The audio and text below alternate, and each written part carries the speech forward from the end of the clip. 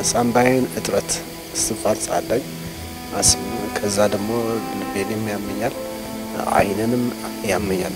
ይሄን ሁሉ የሆነው በዚህ በበሽታው ምክንያት ነው።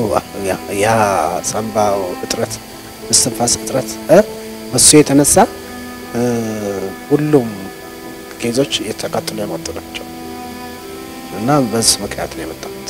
በኦክሲጅን ብቻ ነው እዚህ የገባሁት ማለት ነው።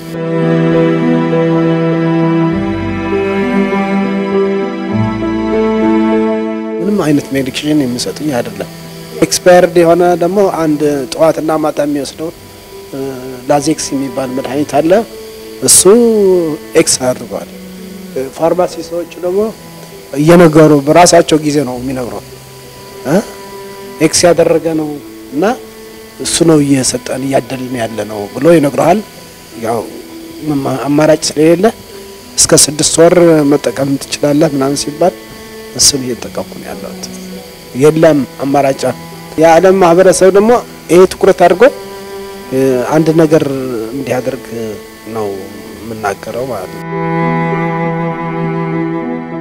እኔ አዲስ አበባ ኑር ያለሁ ሌላም ሀገር ኑር ያለሁ ሰላም ነበር የምንኖረው። ነገር ግን አሁን ከየት መጣ ሳይባል ሾልኮ ገብቶ ይሄው ድብልቅልቅ አድርጎታል። ይሄ አይደለም ኢትዮጵያ አፍሪካ ጠቅላላም አዛብቶታል ማለት ነው። ስለዚህ የኢትዮጵያ ሕዝብ ቀና ብሎ ማየት አለበት፣ ወደ ፈጣሪው መጸለይ አለበት። ዲያስፖራ ትግራይ በጣም ነው የሚያደርጋቸው።